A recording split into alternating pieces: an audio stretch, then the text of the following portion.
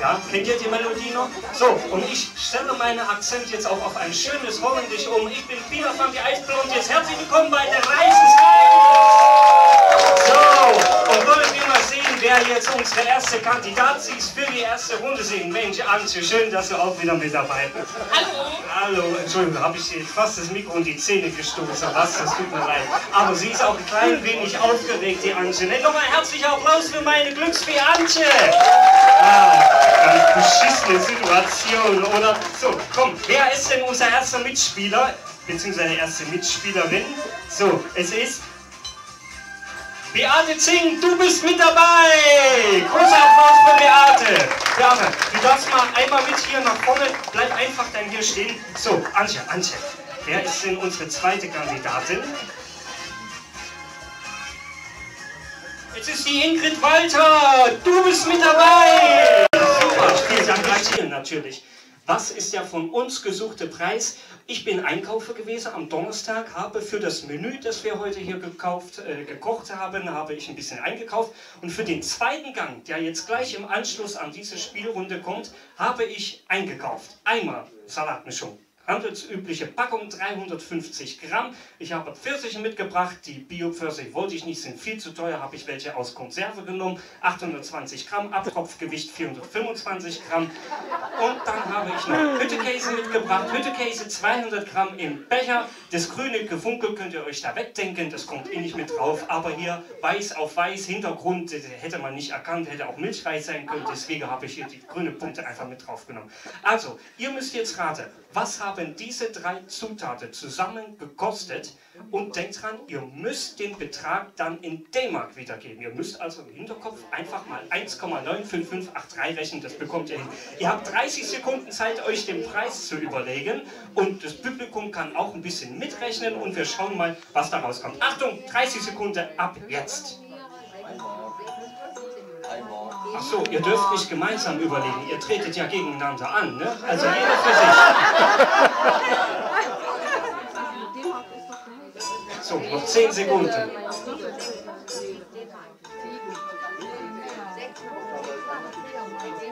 Ah, es wird gegrübelt im Publikum. Ja, was hat Salatmischung noch zu D-Mark-Zeiten gekostet? Ja, ganz schwer. Beate, du hast dir einen Betrag überlegt. Was glaubst du, hat das Ganze denn, also alles zusammengerechnet, in D-Mark gekostet? Damals. Heute. Aber halt in D-Mark. 7,98. 7 Mark 98. Äh, Antje, kannst du dir das mal, kleine Glücksfee, kannst du dir das mal merken? 7 Mark 98 hat sich die Beate ausgesucht. Frau Walter, was glauben Sie, ist der von uns gesuchte Preis in D-Mark? 3 Euro. 3 D-Mark. 3 D-Mark. 3 D-Mark 50. Zum ersten, zum zweiten und zum dritten. Dann schauen wir mal. Wir lösen das Ganze jetzt auf. Was hat das denn alles gekostet? Also die Salatmischung hätte heute 3 Mark 89 gekostet. Die Pfirsiche in der Dose hätten 2 Mark 33 gekostet. Und der Hüttenkäse, den kriegen Sie für 96 Pfennig. Wir kommen also zu einem Gesamtpreis, ich habe mir das hier auch irgendwo aufgeschrieben, wir kommen zu, seinem, zu einem Gesamtpreis von 7 Mark und 18 Pfennige. Damit hat Beate deutlich, ist deutlich dran an diesem Preis. Frau Weiler, vielen herzlichen Dank, dass Sie teilgenommen haben, aber noch ist nichts verloren. Sie können ja in der nächsten Runde einfach wieder gelost werden. Vielen Dank und nochmal einen herzlichen Applaus für die Frau Walter. Und ein herzlicher Applaus für die Beate Zink, die jetzt in unsere Schnellraterunde kommt. Wir machen jetzt ein kleines Quiz, da geht es so um die Frauentagsfeier aus den vergangenen Jahren und um, um so Küchenkünste, sage ich einfach mal.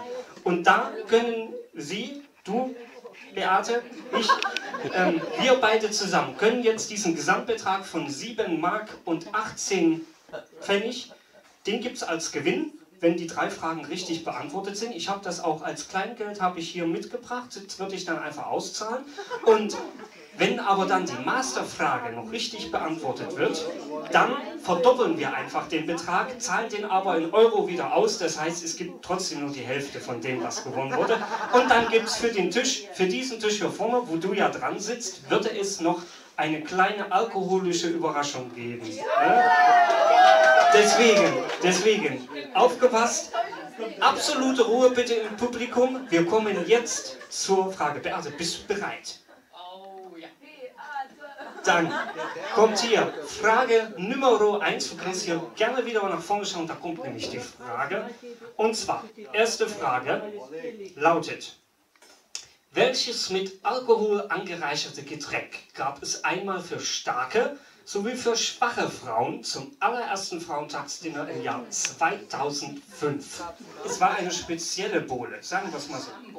Schlammbohle. Schlammbohle ist falsch, denn es ist Rumtopf gewesen. Das tut mir leid.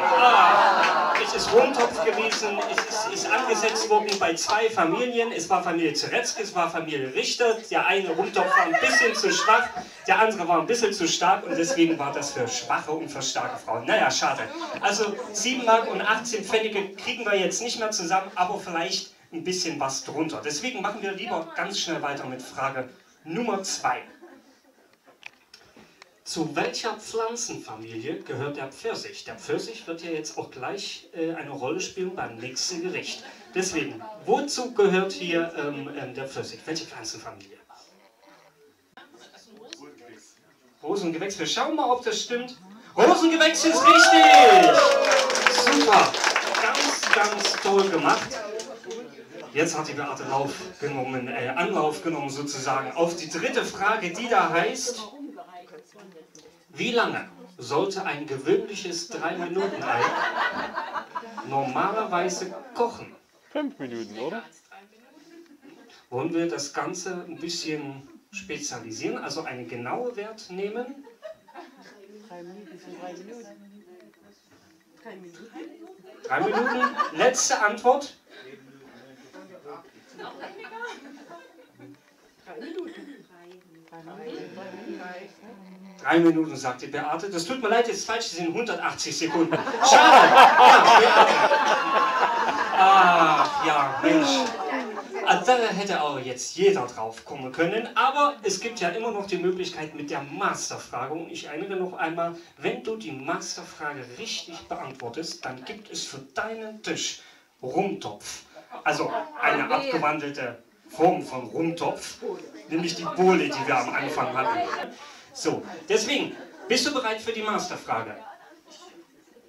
Dann kommt hier die Masterfrage. Ah, spannend, mit Musik im Hintergrund. So, Achtung, geht los. Was wird aus diesen Zutaten zubereitet? Mehl, Eier, Milch, Salz, Zucker. Manchmal kommt auch ein bisschen Backpulver mit dran. Dann werden sie dicker, genau. So, was, was wird denn jetzt draus? Ich würde sagen Pfannkuchen, manche sagen Eier. Ähm, wie sagen die Amerikaner? Pancake? Dann Also das waren jetzt drei verschiedene Gerichte, die ich gehört habe. Was nehmen wir denn nun? So, also pass auf, wir, wir sind ja hier in Sachsen-Anhalt, ja, ehemalige DDR. Wie hat man das denn bei uns genannt? Eierkuchen. Wollen wir mal schauen, ob das richtig ist? Es sind Eierkuchen! Und damit, Beate, hast du gewonnen für deinen Tisch. Es gibt Alkohol umsonst. Sehr gut, liebe Beate. So, jetzt, jetzt können hier die Küchenkräfte nochmal, äh, Servicekräfte rangehen. Wir haben, glaube ich, zwei unterschiedliche, oder?